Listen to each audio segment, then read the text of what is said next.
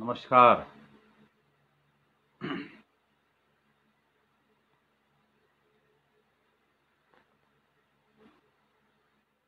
नमस्कार प्रमोद जी।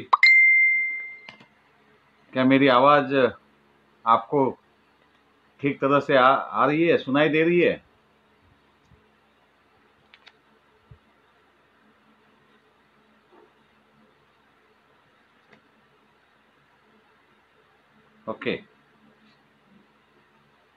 प्रारंभ करें।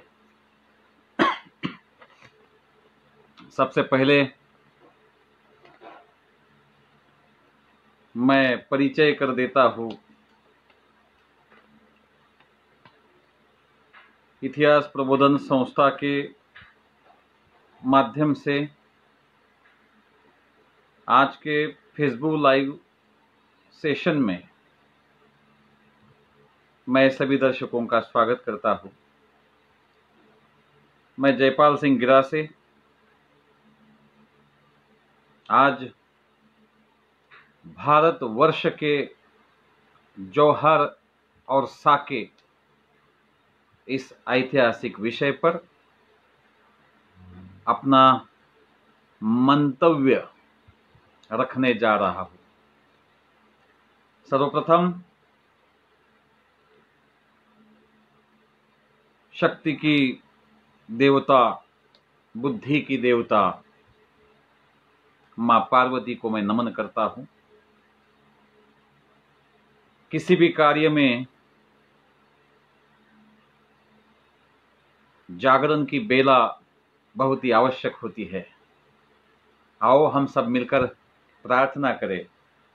या अंबा मठु मधुके तब प्रमथनी, या माँ ही शून मुलनी या धूम्रेक्षण चंड मुंड मथनी या रक्त बीजासनी या शक्ति शुंभ निशुंभ दैत्य दलनी या सिद्ध लक्ष्मी परा सा दुर्गा नवकोटि मूर्ति संहिताम, या माम पातु विश्वेश्वरी।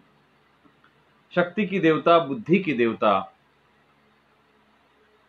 माँ पार्वती, जिनके विभिन्न नाम है, अंबा, भवानी मैं उनको नमन करता हूँ। और आज की इस व्याख्यान को प्रारंभ करता हूँ। मेरा भारत राष्ट्र हमेशा हर सदी में शक्ति का उपासक रहा है।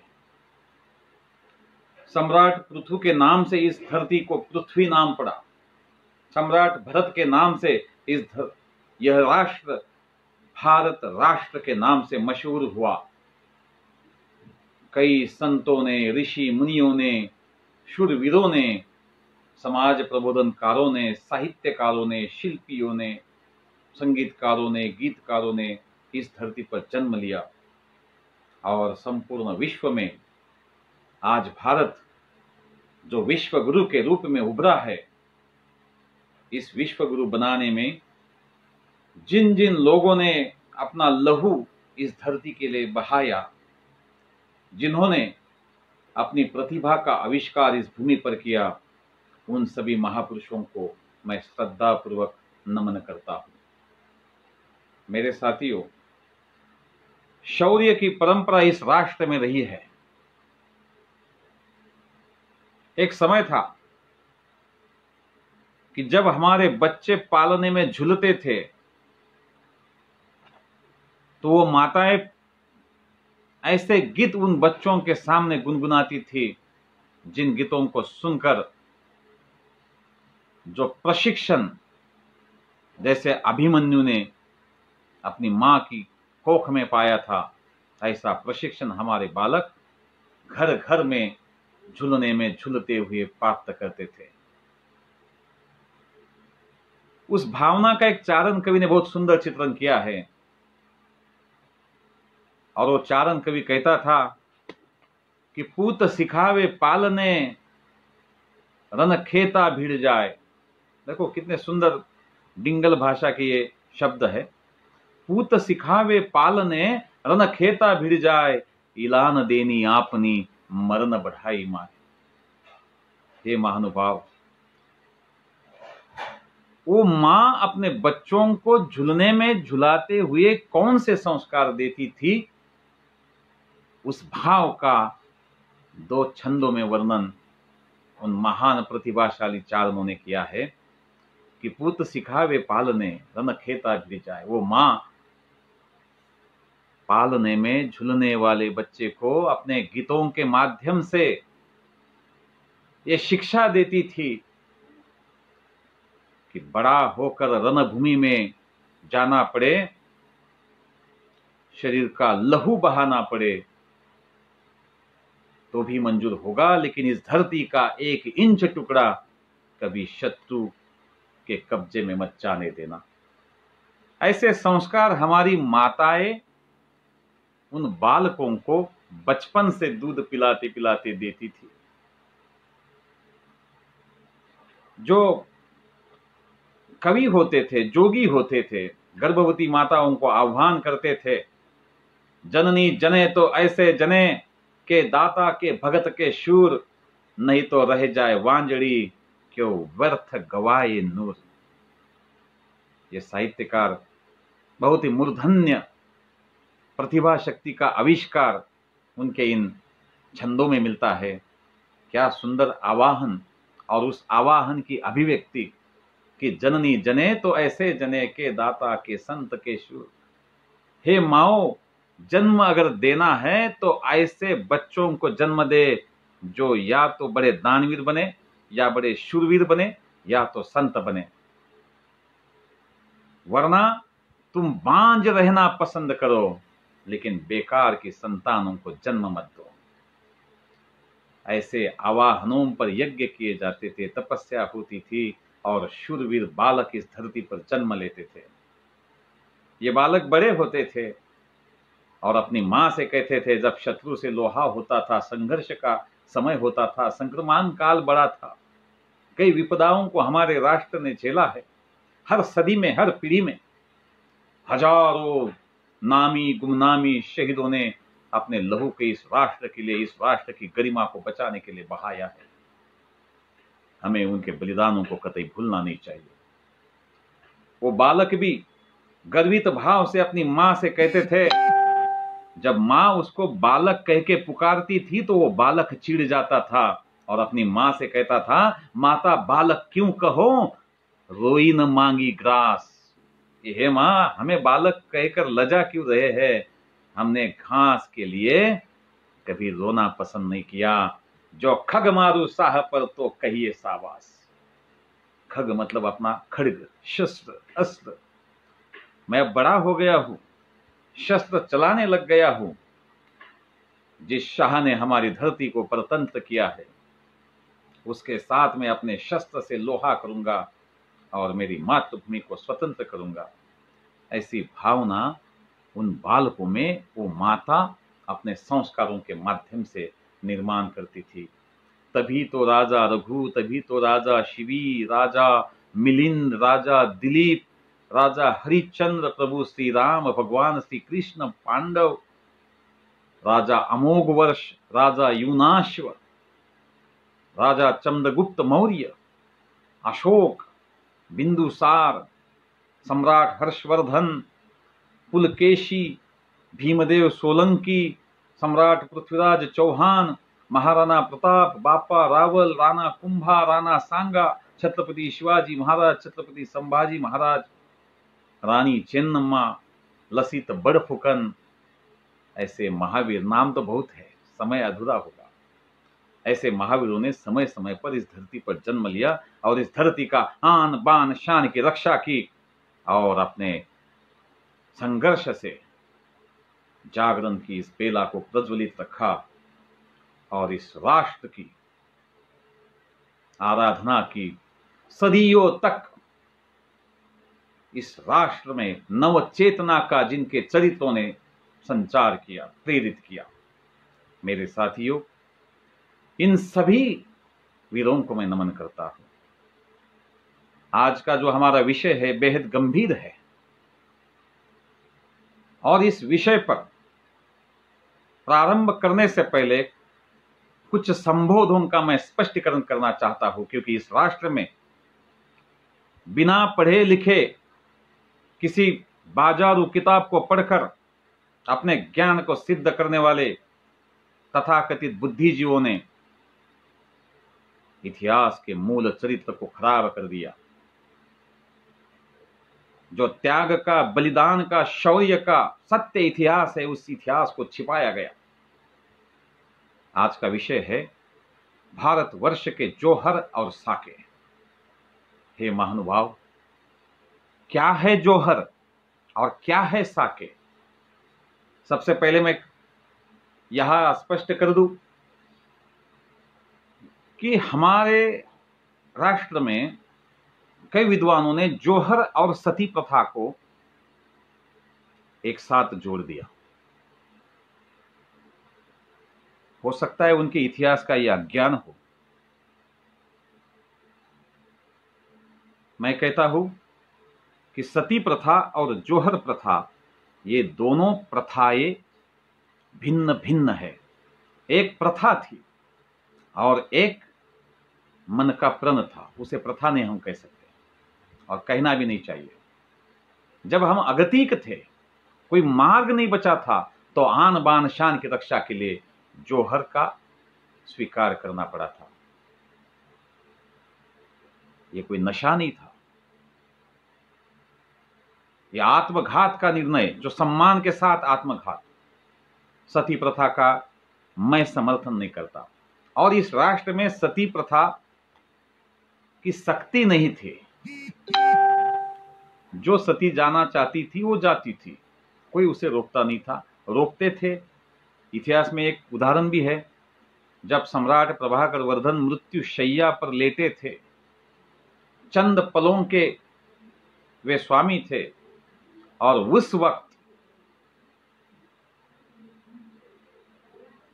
प्रभाकर वर्धन जी की पत्नी महारानी यशोमती, जिन्होंने स्वयं चिता प्रज्वलित कर सती जाने का निर्णय लिया था, उस वक्त युवराज हर्षवर्धन और उनके राज्य के महाअमात्य सेनापति और कई रिश्तेदारों ने रानी यशोमती से प्रार्थना की थी कि आप सती मत जाओ। लेकिन उस रानी का वो प्रण था, उसका व्यक्तिगत निर्णय था। अगर सभी नारियाँ सती जाती तो ये धरती कहीं बचती? ये राष्ट्र बचता? ये सती प्रथा, जो गलत प्रथा थी, क्रूर प्रथा थी, जिसका हम समर्थन नहीं करते। लेकिन जो प्राचीन समय में हो गया, सो हो गया। लेकिन सती प्रथा से जोहर प्रथा पूर्ण तरह से भिन्न है। जोहर का अर्थ क्या है? सती में एक नारी अपने पति के मृत्यु के बाद खुद को जलाती थी या समाज के ऐसे विशिष्ट घटक होते थे जो परंपरा के अनुसार उनको बाध्य कर देते थे। अल्पा उम्र में उनके विवाह होते थे, समाज में परचक्र के बवंडर आते थे, आक्रमण आते थे। नारी का कोई सानी नहीं होता था और इसलिए वो नारी सती जाना पसंद कर लेती थी। राजा राम मोहन राय जी ने इस विषय पर जागरूकता बढ़ाई और लॉर्ड बेटिंग के समय सती की क्रूर प्रथा पर पाबंदी लाई गई। लेकिन कई ऐसे शासक इस राष्ट्र में थे, जिनकी माताओं ने या जिनके पत्नियों ने कभी सती जाना, जाने का निर्णय नहीं लिया था। और बात अब जोहर की करते हैं। क्या होता है जोहर? जोहर का अर्थ है सामूहिक रूप से आत्मघात। क्यों किया जाता था आत्मघात? ये इस आत्म आत्मघात का अर्थ उसकी पार्श्वभूमि, पृष्ठभूमि देखने के लिए हमें उस जमाने में जाना पड़ेगा। आज के फिल्मी सितारे अपने ट्विटर पर ट्यू ट्यू करते हैं। वो कहने का दुस्साहस करते हैं कि वो लोग आत्मघात क्यों करते थे, जलकर क्यों मरते थे, लड़कर मरना था। बोलना बहुत आसान है। लेकिन झेलना बहुत कठिन है। मेरे साथियों, जब रणभूमि में दो पक्षों का, दो सेनाओं का भयंकर रण तांडव चल रहा हो, सिर हाथ में लेकर जहाँ वीर अपने प्राणों की बाजी लगाते हो, जहाँ तुम्हारे सतीत्व की आन बान शान की रक्षा करना अत्यंत कठिन बनता हो, ऐसे वक्त जोहर जैसे कठिन निर्णयों को लिया जाता था। हमने स्पष्ट कर दिया कि सती प्रथा और जोहर प्रथा इसमें बहुत अंतर है। ज़्यादातर जोहर विदेशी आक्रांताओं के वक्त हुआ है। इस राष्ट्र में एक परंपरा थी, आपने रामायण महाभारत देखा होगा। जब सूर्योदय होता था तो शंखनाद किया जाता था, आक्रमण दुधुम्बी बजाई जाती थी, नगाड़े बजाए जाते थे, और फिर शत्रु को आह्वान देकर उस पर आक्रमण किया जाता था। शाम को सूर्यास्त के बाद युद्ध समाप्त हो जाता था। ये परंपराएँ थी, ये आदर्श थे। और अगर शत्रु के राज्य पर विजय भी प्राप्त कर लिया तो वहाँ की नारियों को, वहाँ के बच्चों को कभी स्पर्श नहीं किया जाता था। जब विदेशी आक्रमण इस राष्ट्र में होने लगे, तब जोहर जैसा दर्दनाक निर्णय तत्कालीन शासकों के परिवारों ने लिया था। जब मैं भारत के कुछ प्रमुख जोहारों पर प्रकाश डालूँगा, तब आपको भी ये जोहर के निर्णय उस काल में क्यों लिए गए थे, इसका महत्व अपने आप पता चल जाएगा। मेरे साथियों, हम प्रारंभ करते हैं पहले जोहर से, जो सिंध प्रांत में हुआ था, जहाँ राजा दाहिर का शासन था। राजा दाहिर के बाद वक्त मोहम्मद बिन कासिम ने सिंध पर आक्रमण किया। वो आक्रमण बहुत ही भयंकर था। उसका कोई समय सीमा निश्चित नहीं थी। युद्ध में हार जाना, उसके बाद संधि होती थी। विजेता पक्ष पराजित पक्ष से दंड वसूल करता था, या तो उसे उस प्रदेश से निष्कासित कर देता था। आज तक के विश्व के इतिहास में यही सामरिक सिद्धांतों पर बल ज़्यादा दिया गया था। लेकिन जब आक्रमण विकृत स्वरूप के होते थे, युद्ध में हार जाने के बाद उनके आस्था के स्थलों को, उनके महलों को, उनके घरों को नष्ट कर देना,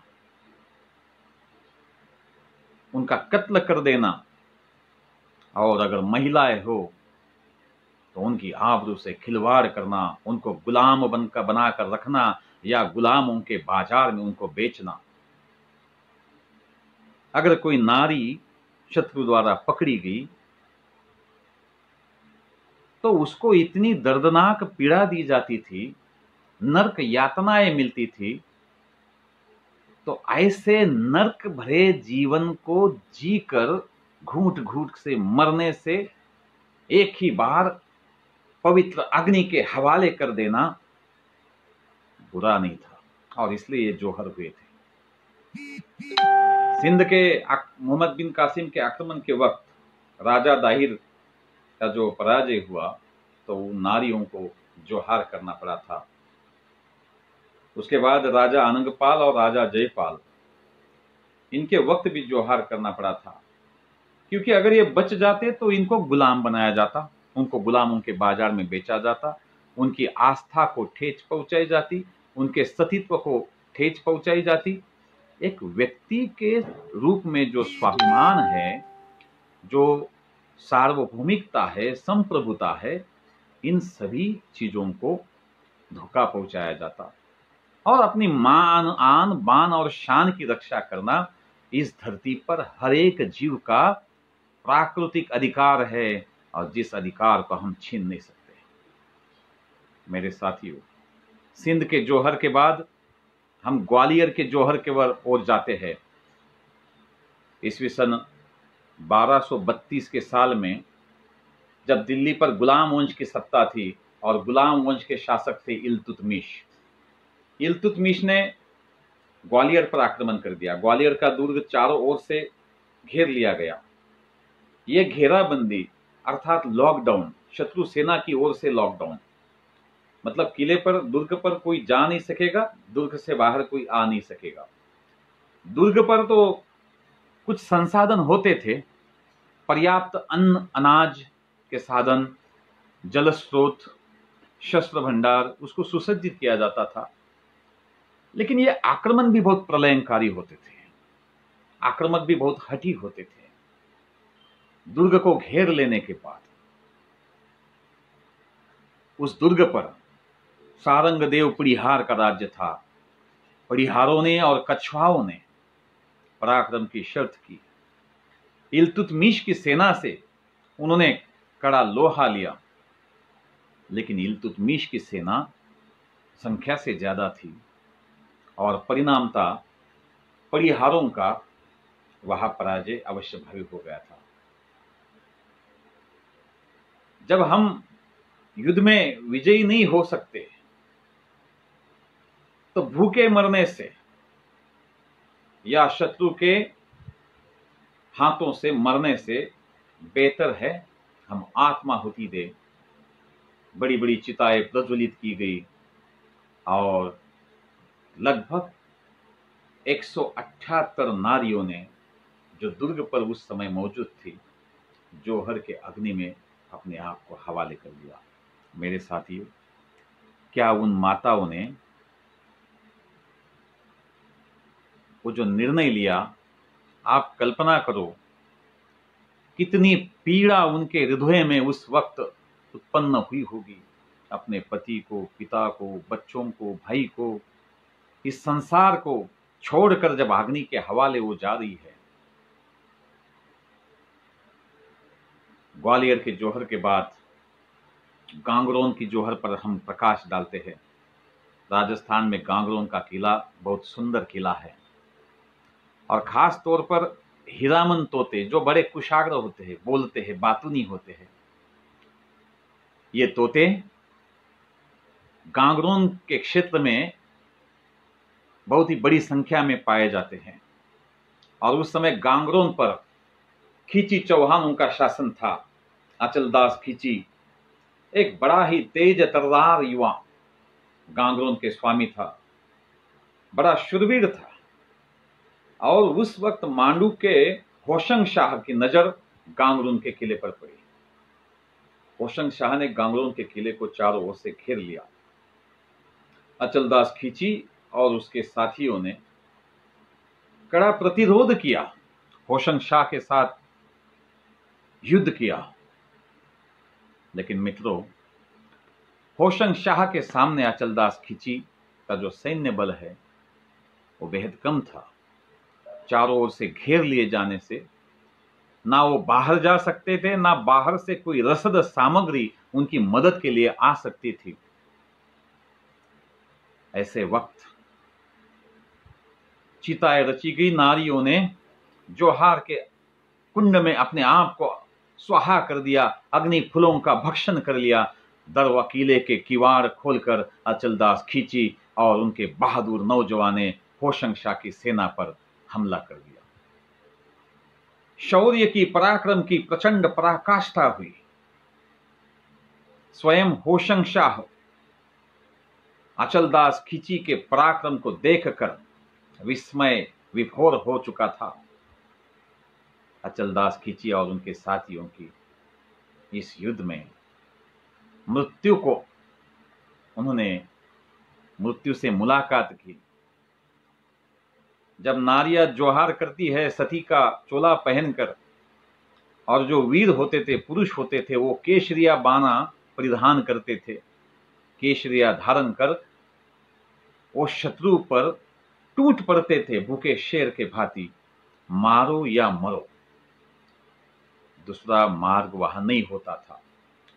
उसे इतिहास में साका कहा जाता है। होशंग शाह खींचियों की छोटी से सैन्य दल के इस कड़े प्रतिरोध को देखकर बड़ा ही अचंबित हुआ था। उसने उस शौर्य की तारीफ़ भी की। जब किले पर उसने प्रवेश किया तो उस किले पर जो मंदिर थे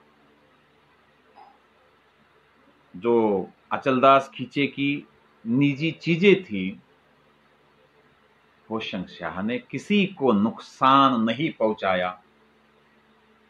होशंग शाह वहाँ से लौट गया। जीवन में पहली बार मृत्यु का मरणोत्सव मनाने वाली कौम से उसका पाला पड़ा था। होशंग शाह के 1423 में यह आक्रमण के बाद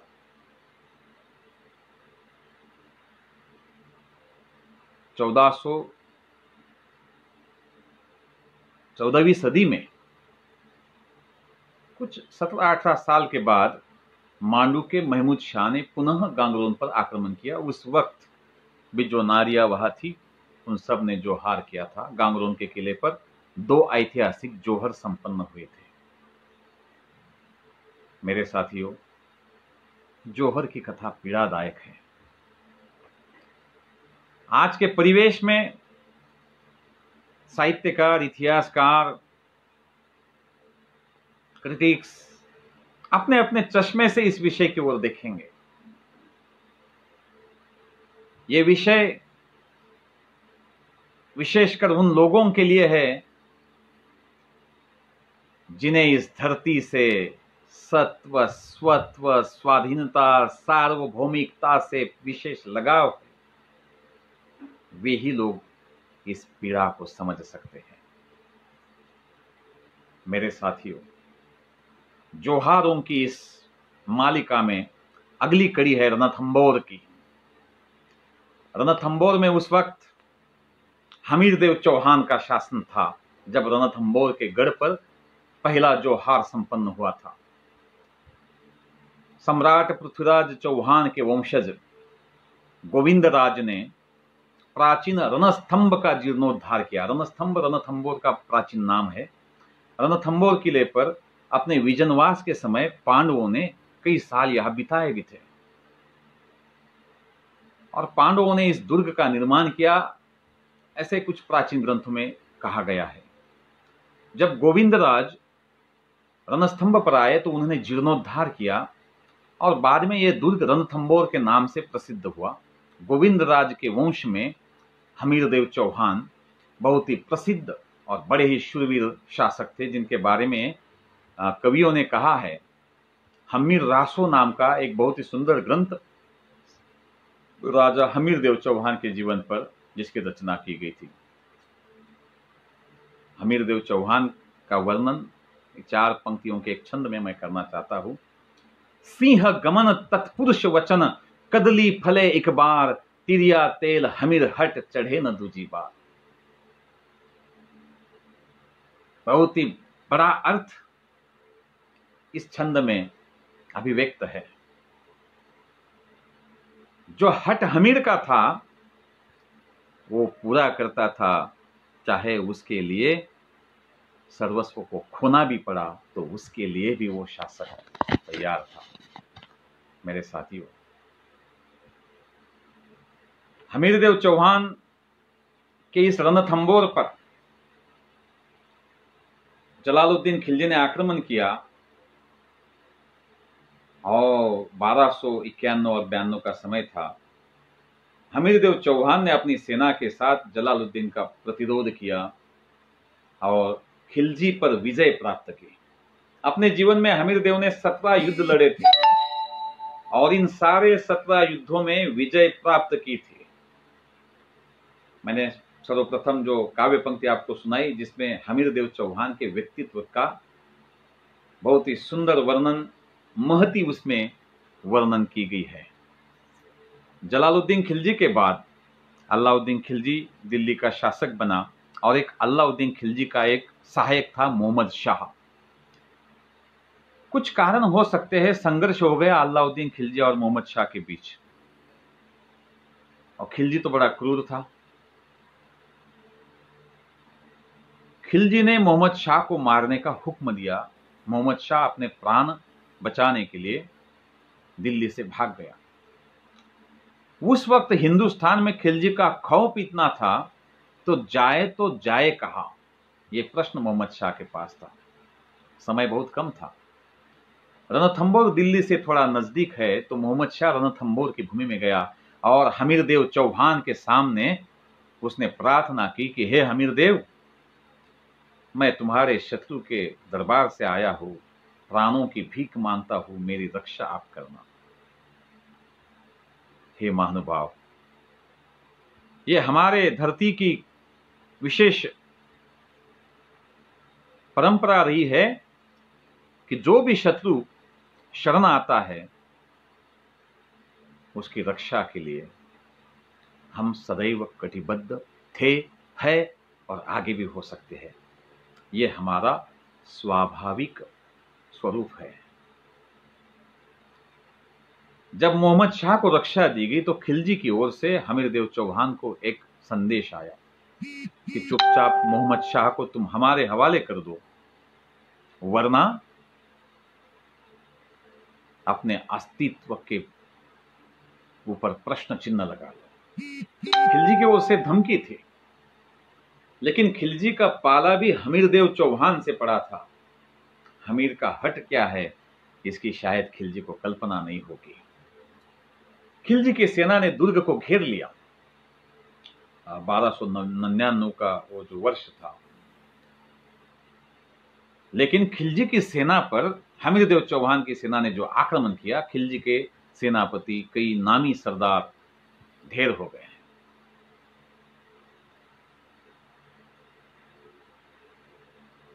मेरे साथियों, एक दिन प्रातः समय ये सात पहाड़ों में घेरा हुआ दुर्ग है रणथंबोर हो सकता है आप में से कुछ लोग वहाँ जाकर आए भी हो, आज वो व्याघ्र प्रकल्प वहाँ इंदिरा जी गांधी जी ने प्रारंभ किया था। आज वो बाघों का बहुत बड़ा अभयारण्य भी है। दुर्ग का अधिकांश हिस्सा अभयारण्य में है। हमीर देव ने खिलजी के कैंप पर हमला किया। खिलजी के हाथी लुटे, उसके निशान उस हाथी के अंबारियों पर लहरा रहे थे। उसके घोड़े लूटे।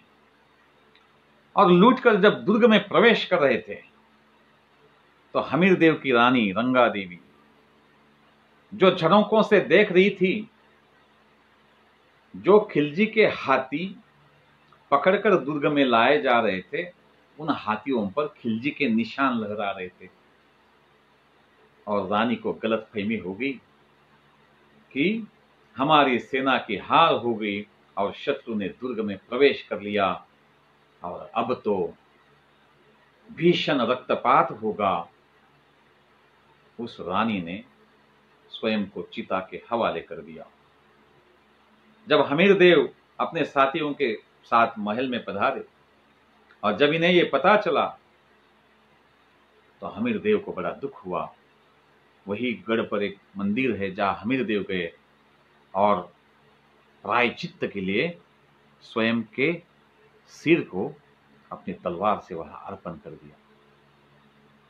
उस वक्त दुर्ग पर दो गद्दार थे जिन्हों जिन्होंने खिलजी के साथ संधि कर ली। गुप्त मार्ग का जो नक्शा था, वो खिलजी की सेना को सुपुर्द कर दिया और छल कपट से खिलजी ने इस दुर्ग पर विजय प्राप्त कर ली हमीर देव चौहान का इतिहास अद्भुत शौर्य गाथाओं से भरा हुआ है, जिन्होंने मालवा धार, गुजरात पर विजय प्राप्त की। सत्रह युद्ध जीतने वाला यह वीर कुछ छोटी सी गलतियों की वजह से। गलतियाँ हम उसे नहीं कहना चाहते, गलत फहमियों की वजह से। इस दुर्ग को, खिलजी के निशानों को देखने की नौबत आ गई थी रणथंबोर के जोहार के बाद अगले जोहर जालोर के दुर्ग के जोहार पर हम प्रकाश डालते हैं। जालोर का गढ़, जो कभी दहियाओं के कब्जे में था, कभी प्रतिहार जिन्हें परिहार कहा जाता है, जिनके वंशज आज भी मध्य प्रदेश के नागोद में है। उनका शासन रहा, कभी सोलंकियों का शासन रहा, कभी राठौर चौहानों का शासन रहा। मालवा के परमारों के भी अधीन यह दुर्ग रहा। जालोर और सिवाना के बड़े दुर्ग है, बड़े सुंदर प्राचीन दुर्ग है। जब सोनगरा चौहानों का शासन था, कान्हरदेव चौहान बड़े ही पराक्रमी वीर थे और उनके पुत्र थे विरमदेव चौहान। जब खिलजी ने सोमनाथ पर हमला किया तो सोमनाथ के महादेव की मूर्ति को खिलजी की सेना ले जा रही थी। जब कान्हड़ देव और विरम देव को पता चला कि खिलजी की सेना सोमनाथ के महादेव की मूर्ति को उठाकर ले जा रहे हैं तो जालोर की सेना ने खिलजी की सेना पर आक्रमण कर दिया। बड़ा ही रक्तरंजित संघर्ष हुआ। खिलजी की सेना हार गई। भागना पड़ा। महादेव की मूर्ति को उनके चंगुल से छुड़ाया गया। और सरना नाम के गाँव में वह मूर्ति एक मंदिर में स्थापित की गई। खिलजी इस आक्रमण से बड़ा ही स्तब्ध था। उसके बाद खिलजी ने एक दूत को भेजकर विरम देव को दिल्ली दरबार में बुला लिया। खिलजी ने कहा कि हम आपसे मित्रता करना चाहते हैं। हम आपके शौर्य से अच्छी तरह से परिचित है। क्योंकि कई बार संघर्ष हुआ था और सोनगरावन से खिलजी को हारना पड़ा था। विरम देव भी दिल्ली गया। विरमदेव को एक पहलवान से जो पुंजा पंजू नाम का जो पहलवान था, उससे कुश्ती लड़वाई गई विरमदेव को वही समाप्त करने की योजना भी हो सकती है। इतिहास है। शत्रु को अगर मिटाना है तो कई तरह के छल कपट, साम, दाम, दंड, भेद, नीति, इतिहास में ये सब मंजूर था। लेकिन विरमदेव पंजू को, अपने गुरु को धराशायी कर गया। विरमदेव पर खिलजी की जो बेटी थी फिरोजा, उसका मन आ गया। काफ़ी विरोध के बाद विरमदेव को सामने प्रस्ताव रखा गया कि तुम्हारा निकाह फिरोजा के साथ होगा। विरमदेव खिलजी की चाल समझ गया। और विरमदेव बड़ा चतुर था कि हम ऐसे आते नहीं, हम बड़ी बारात लेकर आएँगे माँ पिताजी की सम्मति लेकर आएँगे। विदमदेव उसकी अनुमति से जालोर पहुँच गया। और यहाँ युद्ध की तैयारी हो गई। खिलजी ने आक्रमण किया। लगातार दो तीन साल तक संघर्ष जारी रहा। 1311 में अंतिम युद्ध हुआ। जिस युद्ध में कान्हड़ देव अपने प्राणों की आहुति उन्हें देनी पड़ी। विरमदेव ने खिलजी से बड़ा संघर्ष किया, लेकिन उस वक्त एक बीका नाम का जो सरदार है, जिसने खिलजी का पक्ष स्वीकार कर लिया था, गद्दारी की थी, अपने पति ने जब खिलजी को मार्ग बता दिया, गढ़ पर आने का गुप्त मार्ग तो बिका की पत्नी ने अपने पति को जहर खिलाकर मार डाला था। लेकिन तब तक बहुत ही समय हो गया था और खिलजी की सेना जालोर के दुर्ग में दुर्ग में पहुँच गई थी। पहले द्वार पर जब खिलजी की सेना थी तो दुर्ग पर पंद्रह जगह चिताए प्रज्वलित की गई। दुर्ग पर जितनी भी महिलाएँ थी, उन सबने अपनी अस्मिता की रक्षा के लिए स्वयं को अग्नि के हवाले कर दिया। मेरे साथियों जालोर के जोहर की कहानी बड़ी दर्दनाक है। अब तक जिन कहानियों को बताया, वो भी दर्दनाक थी। और आने वाले कुछ क्षणों में मैं चित्तौड़ के जोहारों पर प्रकाश डालने वाला हूँ। चित्तौड़ का दुर्ग इस राष्ट्र की आन बान और शान का प्रतीक समझा गया है। जो कभी चित्रकूट नाम से मशहूर था, कभी पांडवों ने इस दुर्ग पर शासन किया था चित्रांगन मौर्य मौरी से बापा रावल ने अपने सिसोदिया वंश का सिंहासन इस किले पर स्थापन किया। बापा रावल, जिन्होंने अरबों को पराजित किया था, महाराणा कुंभा, जिनकी दूर दूर तक शौर्य की ख्याति थी। महाराणा खुम्मान, महाराणा हमीर महाराणा अरी सिंह, महाराणा सांगा, महाराणा उदय सिंह, महाराणा प्रताप, एक से बढ़कर एक नाम इस चित्तौड़ के दुर्ग से जुड़े हुए हैं। चुंडा का त्याग हो, पन्ना की स्वामी भक्ति हो, राणा सांगा का शौर्य हो, मीरा के वीणा का गुंजन हो, कौन से गुणों को मैं आपके सामने रखूँ? समय सीमा का पालन करना भी अवश्य भावी है। मेरे साथियों, तेरहवीं सदी में जब खिलजी दिल्ली का शासक था, उस वक्त चित्तौड़ के स्वामी थे रावल रतन सिंह। बड़े ही शूर, कलासक्त, कला और शिल्प के आश्रयदाता के रूप से मशहूर थे। और उसी वक्त पुंगल देश की राजकुमारी राजा गंधर्व सेन और रानी चंपावती की पुत्री पद्मावती, जिसे पद्मिनी नाम से पुकारा जाता है। कई इतिहासकारों ने यहाँ कई भ्रांतियाँ पैदा कर दी है।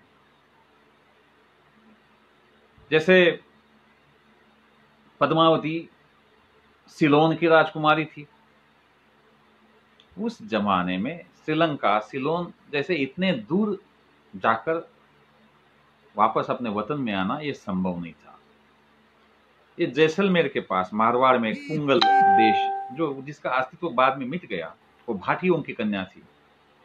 कुछ इतिहासकारों ने इसे सिंगोल कुंगल का अपभ्रंश हो सकता है। सिंगोल की राजकुमारी, अब सिंगोल नाम से जुड़ा हुआ एक सिंगोली नाम का गाँव जो चित्तौड़ के पास है, जो महाराणा प्रताप के जो परिवार के पुराजी थे, उन पुराजी के वंशज, जिनका आज वो ठिकाना है। लेकिन वो सिसोदिया उनका ठिकाना है। हो सकता है ये पुंगल जैसलमेर के आस पास कहीं मारवाड़ में होगा। कहानियाँ यह है कि इस राजकुमारी के पास एक हीरामन तोता था, वो बहुत बातूनी था और राजकुमारी उस तोते से घंटों समय तक बातें करती थी। तो राजा गंधर्व सेन को ऐसा लगा कि ये तोता, अब राजकुमारी बड़ी हो रही है, सयानी हो रही है, उसके स्वयं को रचना है। तोते से इतना लगाव ठीक नहीं। राजा ने कहा कि इस तोते को मार डालो, शिकार कर डालो। तोता डरकर भाग गया, एक जंगल में छिप गया। शिकारियों ने पकड़ लिया। शिकारी राजा रावल रतन सिंह के पास आए। राजा बड़ी कीमत देगा क्योंकि तोता बहुत होशियार था, बुद्धिमान था। इंसान के आवाज़ की हुबहू नकल करता था। राजा ने खरीद लिया और उसी तोते ने रानी मतलब राजकुमारी पद्मिनी के बारे में रावल रत्न सिंह के सामने वर्णन किया। जब स्वयंवर था पद्मिनी का तो रावल रत्न सिंह भी उस स्वयंवर में हिस्सा लेने जा पहुँचे और पद्मिनी ने रावल रत्न सिंह को अपने पति के रूप में चुना। पद्मिनी बहुत सुंदर थी, ऐसा कुछ गीतकारों ने, लेखकों ने, फिल्मकारों ने कहा है। मेरे साथियों, सुंदर शब्द का अर्थ अंग्रेज़ी में ब्यूटीफुल है और हम ब्यूटीफुल का अर्थ लेते हैं जिसका गोरा रंग हो जिसकी आँखें, जिसका नाक, जिसकी मुखचर्या बड़ी आकर्षक हो।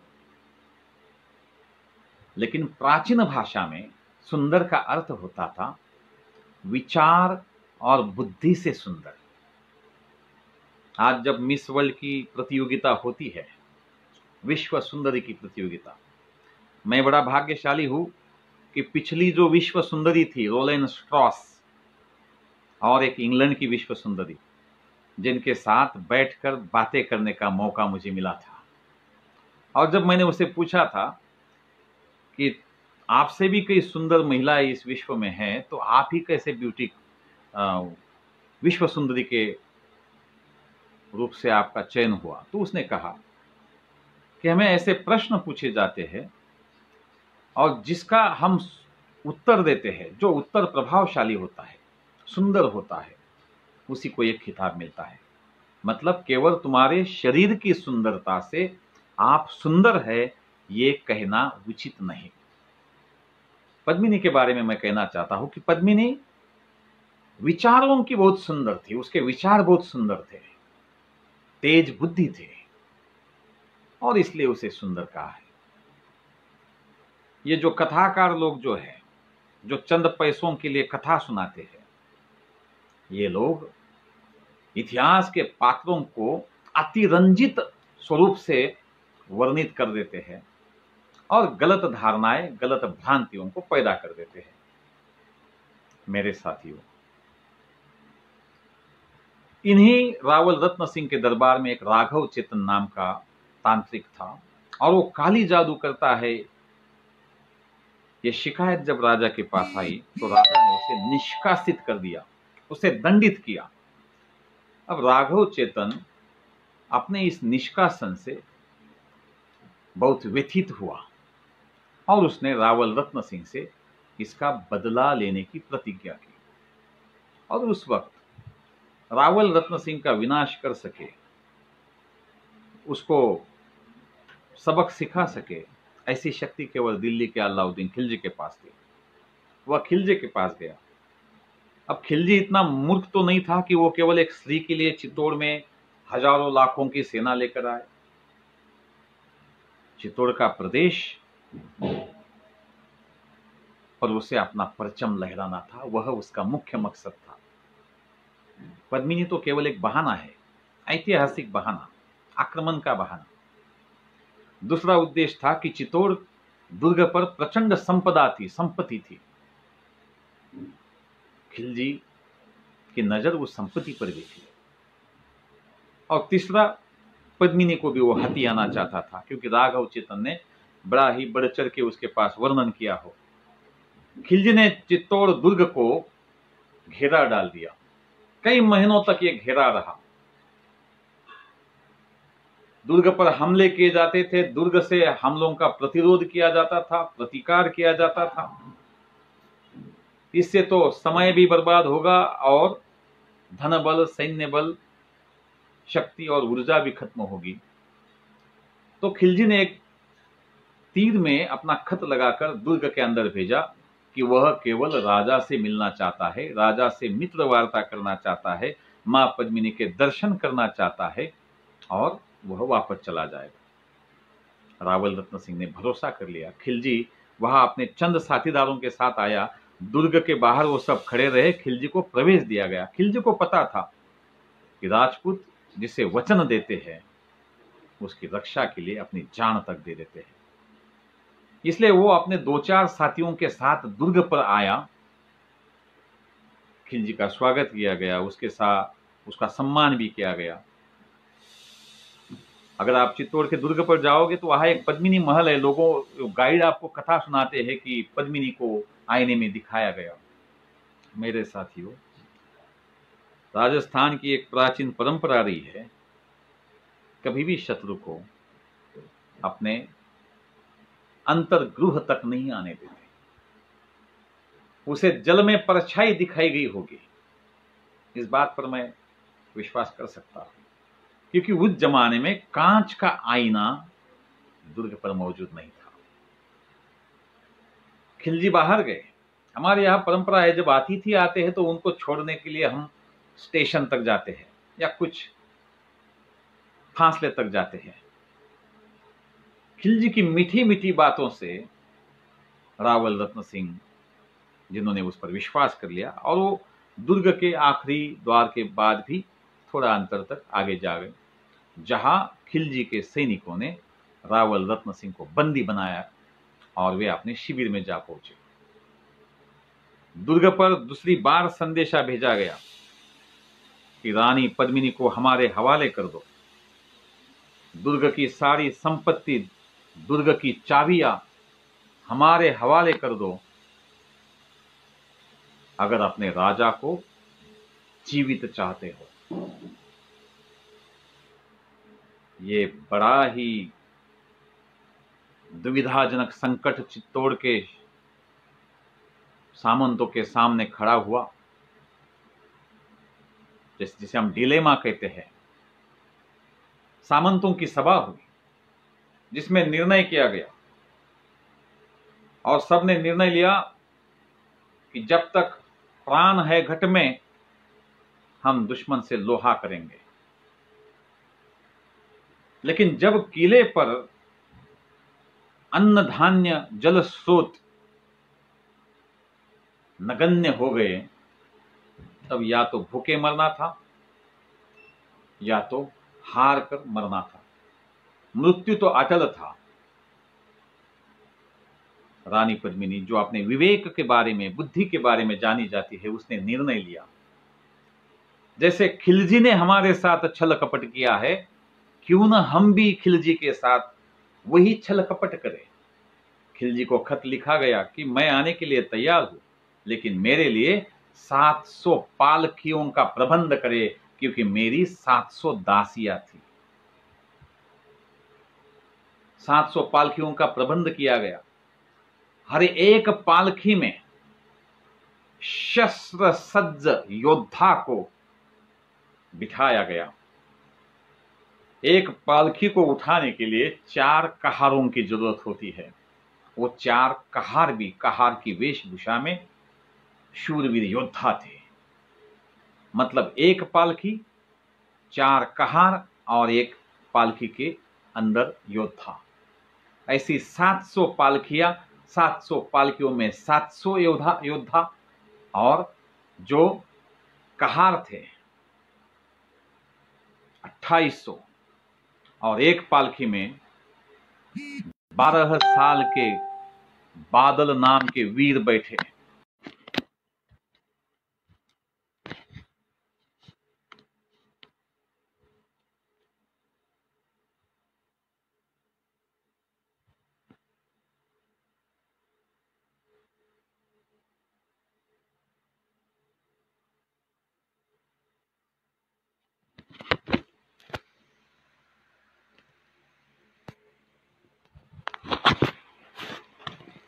क्या मैं आपको दिखाई दे रहा हूँ। हेलो क्षमा चाहता हूँ कि थोड़ी गड़बड़ी हो गई थी, मोबाइल को हाथ लग गया और जो डिस्कनेक्ट हो गया था। प्लीज़ आप कोई कमेंट करें ताकि मैं समझ सकूँ। और अपने इस व्याख्यान को मैं कंटिन्यू कर सकूँ। जी। हम बात कर रहे थे माँ पद्मावती के, जोहार की। जब 700 पालकियों को खिलजी के दरबार में ले जाया गया और खिलजी के शिविर में वो पालकियों को रखा गया तो खिलजी बहुत ही खुश हो गया था कि बिना लड़े, खून की बिना बूंद बहाए हमने दुर्ग पर भी विजय प्राप्त कर लिया और पद्मिनी को भी प्राप्त कर लिया। जैसे ही खिलजी उस पालकी के पास गया तो पालकी के पर्दे खुल गए और उस पालकी में जो बादल, बारह साल का बाल, बादल और उसका चाचा गोरा, वे पालकियों से बाहर आ गए। सभी सैनिकों ने, कहारों ने अपने शस्त्र उठा लिए। खिलजी तो भागने लगा अपनी जान बचाने के लिए। खिलजी के शिविर में हड़कंप मच गया। अचानक चित्तौड़ के योद्धाओं ने अपने शौर्य का उग्र प्रदर्शन वहाँ आरंभ कर दिया। रावल रतन सिंह को खिलजी की कैद से छुड़ाया गया और जैसे ही ये वीर आए थे, खिलजी के ही घोड़े लेकर ये सभी वीर दुर्ग की ओर चले गए गोरा और बादल, जिसके शौर्य के बारे में कई कथाएँ राजस्थान के लोक साहित्य में उपलब्ध है। बादल जो बारह साल का था, दोनों हाथों में तलवार उठाकर खिलजी की सेना से लड़ रहा था। बादल के शौर्य का वर्णन चारणों ने किया था कि बादल बारह बरस रो बारह साल का बादल। बादल बारह बरस रो जो लड़िया लाखा साथ, जो बारह साल के बादल ने लाखों शत्रु सेना के साथ संघर्ष किया। बादल बारह बरस रो जो लड़िया लाखा साथ सारी दुनिया पेंखियो वह खांडा, वह हाथ। जितने भी लोग वहाँ मौजूद थे, वे लोग विस्मय विभोर होकर भय कंपित होकर भय चकित होकर उस बारह साल के बादल का हाथ और उस हाथ में जो खांडा, जो शस्त्र उसने धारण किया था, उस शस्त्र की चापल्यता को देखकर वे लोग भयकंपित हो गए थे। रावल रतन सिंह को सम्मान के साथ वो छुड़ा कर ले गए। खिलजी तो इस घटना से अत्यंत उग्र हो गया और उसने अपनी घेराबंदी कड़ी कर ली। एक दिन नारियों के सामने, सभी लोगों के सामने रानी पद्मी ने प्रण किया कि वो जोहार करेंगे। मेरे साथियों, विश्व के इतिहास में सबसे बड़ी दर्दनाक घटना ये थी। सोलह हज़ार नारियों ने विवाह का चोला पहनकर अपने आप को अग्नि के हवाले कर दिया। दुर्ग के किवाड़ खोले गए। चित्तौड़ की सेना खिलजी की सेना पर टूट पड़ी। लाखों की सेना के सामने चंद हज़ार की सेना ज़्यादा समय तक नहीं खड़ी हो सकती थी। लेकिन यह साका था केशरिया धारण किए हुए सैनिकों का। दोनों हाथों में शस्त्र थे। मरेंगे, सम्मान के साथ शत्रु को मारकर मरेंगे। सब धराशायी हो गए ये चित्तौड़ का पहला जोहार। दूसरा जोहार था 1535 में। 1526 में जब बाबर का भारत पर आक्रमण हुआ तो भारत के तमाम शासक महाराणा संग्राम सिंह, जो जो राणा सांगा के नाम से भी प्रसिद्ध है, उनके नेतृत्व में खानवा के मैदान में जा पहुँचे थे। राणा सांगा, जिनके शरीर पर अस्सी घाव थे, एक आँख, एक हाथ, एक पैर, कुछ तीर से, कोई तलवार के घाव से, कोई भाले के प्रहार से, कुछ तोप गोलों से, शरीर ऐसा था। बाबर के पास तो तोपे थी, जो मेवाड़ के पास नहीं थी। बाबर की जो व्यूह रचना थी, उस व्यूह रचना के आगे प्रारंभिक पर्व में विजय के नज़दीक पहुँची मेवाड़ की सेना, महाराणा सांगा जख्मी होने के बाद सेना का आत्मविश्वास खो बैठा। सेना तितर बितर हो गई और बाबर के सुनियोजित सेना विजय प्राप्त कर सकी। राणा सांगा ने प्रतिज्ञा की थी कि जब तक बाबर को मैं हरा न दू, चित्तौड़ वापस नहीं जाऊँगा।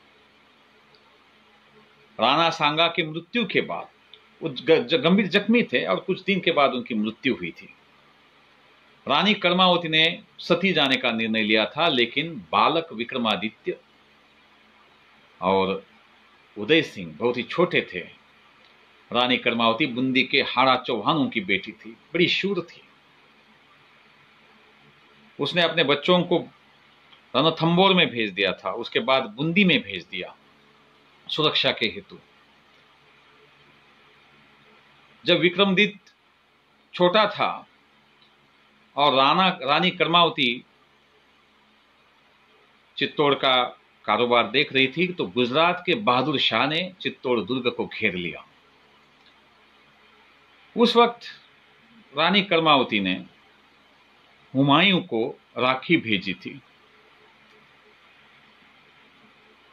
मदद की गुहार लगाई थी, लेकिन हुमायूं की मदद समय पर नहीं मिली थी, वरना कर्मावती को जोहार करने की ज़रूरत नहीं आती। जब किले पर सारे संसाधन समाप्त होने की कगार पर आए तो रानी कर्मावती ने जोहार का निर्णय लिया। उस वक्त रावत बाघ सिंह चित्तौड़ के सेनापति थे और उनके नेतृत्व में दुर्ग के किवाड़ खोले गए। बहादुर शाह पर भूखे शेरों की तरह चित्तौड़ की सेना टूट पड़ी। कड़ा संघर्ष हुआ। और इस संघर्ष में वो सारे धराशाही हो गए। मातृभूमि की आन बान शान की रक्षा के लिए उन्होंने अपने प्राणों की आहुति दे दी। उसके कुछ दिनों के बाद जब हुमायूं का एक साथी बागी होकर बहादुर शाह के पक्ष में आ गया था तो उसको सबक सिखाने के लिए मंदसौर के पास हुमायूं की सेना आई और जिसने बहादुर शाह की धज्जियाँ उड़ाई। बहादुर शाह की जैसी ही धज्जियाँ उड़ाई वैसे ही मेवाड़ के वंशज चित्तौड़ के किले पर कब्जा करने में सफल हो गए। और चित्तौड़ का आखिरी जोहर जो पंद्रह में हुआ था जब मेवाड़ के महाराणा ने मुगलों के सामने घुटने टेकना ना कबूल कर दिया तब शहनशाह अकबर ने चित्तौड़ के दुर्ग को घेराबंदी की। कई महीनों तक ये घेराबंदी जारी रही। दुर्ग के दीवारों पर, प्राचीरों पर तोपों से हमले किए जाते। उस वक्त जयमल राठौड़ उस दुर्ग के मुख्य सेनापति चीफ कमांडर थे। और उसके साथी थे कल्ला राठौड़ पत्ता सिसोदिया। और सिसोदिया, चौहान, सोलंकी, पंवार, तोमर, ऐसे कई कुलों के सैनिक और सरदार सामंत उनके साथ थे। जैसे ही दीवारें गिराई जाती थी तो रात के अंधेरे में, मशाल के प्रकाश में, चित्तौड़ के कारीगर उन दीवारों को रात में खड़ी कर देते थे। गढ़ तक तोपों की प्रभावशाली मार हो इसलिए शहनशाह अकबर ने एक मगरी का निर्माण किया, मगरी जिसको छोटी पहाड़ी कहा जाता है। उसके लिए साबात लगाए गए। साबात इसलिए लगाए गए क्योंकि दुर्ग के ऊपर से तीर चलाए जाते थे। जलते हुए लकड़ियाँ जलते हुए कपास की गांठें फेंकी जाती थी जिससे मुगल धराशायी हो जाते थे या बड़े बड़े पत्थर ऊपर से मुगलों के ऊपर फेंके जाते थे। तो साबात खड़े कर साबात जो एक आच्छादन होता था एक मंडप जैसा आ, किसी सुरंग जैसा और उस साबात के नीचे कारीगर काम करते थे। अब इस भयंकर जंग में कई बार कारीगर मर जाते थे, जख्मी होकर। तो कोई कारीगर काम करने के लिए मजदूर नहीं मिलते थे। तो जबरन उठा के लाते थे, पकड़ के लाते थे। मजदूरों को काम करना चाहिए, जल्द से जल्द ये मगरी छोटी पहाड़ी का निर्माण हो, जिसके ऊपर हम तोहफे चढ़ाए और फिर दुर्ग पर हमला करें। ये युद्ध नीति थी अकबर की। तो एक टोकरी मिट्टी के लिए एक सोने की मुहर उन कारीगरों को दी गई थी। और इसलिए इस मगरी का नाम मुहर मगरी, जो आज भी चित्तौड़ दुर्ग के पास स्थित है। आप अगर कभी चित्तौड़ दुर्ग पर गए तो वहाँ आपको चित्तौड़ दुर्ग से सटी हुई एक छोटी सी पहाड़ी देखने को मिलेगी, जिसको मुहर मगरी कहा जाता है। इस मुहर मगरी पर तोपे चढ़ाई गई। जिन तोपों से दुर्ग की दीवारों पर तोप गोलों को भरीमार किया गया। दुर्ग पर जब संसाधन खत्म होने की कगार पर आए तो जैसे ही पहले जोहर हुए हैं, जयमल, कल्ला, पत्ता, इनके परिवारों की महिलाओं के नेतृत्व में ये जोहर हुआ। पत्ता सिसुदिया की तो माता भी इस युद्ध में तलवार लेकर लड़ी थी शत्रु के साथ। जब अकबर अपने हाथी पर बैठकर ये युद्ध का संचालन कर रहा था तो मेवाड़ के बहादुर सामंतों ने उसी की हाथी की सुंड तक को एक घाव से काट दिया था। जयमल, जो एक दिन रात दीवार की मरम्मत जहाँ हो रही थी, वहाँ खड़ा था और उसका चमकीला पोशाक, चमकीली पगड़ी और अकबर जब नीचे से देख रहा था तो संग्राम नाम की एक बंदूक अकबर के पास थी। गोली दागी गई, जिससे जयमल के पैर में गोली लग जाने से जयमल जख्मी हो गए घोड़े पर वो बैठ नहीं पा रहे थे तो कल्ला के कंधे पर बैठ गए। दोनों हाथों में तलवार जैसे चार भुजा जी का दर्शन अकबर को हो रहा था। सारे वीर धराशायी हो गए। जब विजयी अकबर दुर्ग पर पहुँचा तो वहाँ तीस हज़ार निशस्त्र नागरिक थे। उन सबका कितना दर्दनाक हाल किया गया, ये इतिहास जानता है। बताने की आवश्यकता मैं नहीं समझता। इस तरह भारतवर्ष में यह जोहर और साकों की परंपरा रही है और जो ऐतिहासिक घटनाएँ हुई, जिसके बारे में मैंने प्रकाश डाला। जोहर इसलिए किए गए कि अगर वो शत्रु के चंगुल में आ जाते, शत्रु अगर उनको जीवित पकड़ लेता तो या तो उनकी असमत लुटी जाती, या तो उनको गुलामों के बाज़ार में बेचा जाता, या तो उनकी धार्मिक आस्था को, श्रद्धा को ठेच पहुंचाई जाती। और हमारी एक परंपरा रही है कि हम मर जाना पसंद करेंगे, लेकिन गुलामी का जीना कतई पसंद नहीं करेंगे। और इसलिए उस जमाने में अगतिका, अगतिकता को देखकर परिस्थिति को देखकर, संकट को भांप कर उन नारियों ने जो हार का निर्णय लिया था, उन वीरों ने केसरिया बाना धारण कर, साका करने का निर्णय लिया था। मैं उन सभी अमर त्यागी बलिदानी शहीदों को पुनश्च भाव विभोर होकर शत शत नमन करता हूँ और इतिहास प्रबोधन संस्था का हार्दिक आभार मानता हूँ। कि आपने मुझे निमंत्रित किया और आपके सामने इतिहास के इन पृष्ठों को मैंने उजागर किया। यह उद्देश्य केवल इतिहास की चर्चा का है, ना किन्हीं विचारों के प्रचार और प्रसार का। मैं हमेशा कहता हूँ, वो कौमें खुशनसीब होती है जिनको इतिहास होता है। वो कौमें खुशनसीब होती है जिनको इतिहास होता है। वो कौमें बदनसीब होती है जिनको इतिहास नहीं होता है। और वो कौमें सबसे ज़्यादा बदनसीब होती है जिनको इतिहास भी होता है, लेकिन वो इतिहास से सबक नहीं लेते।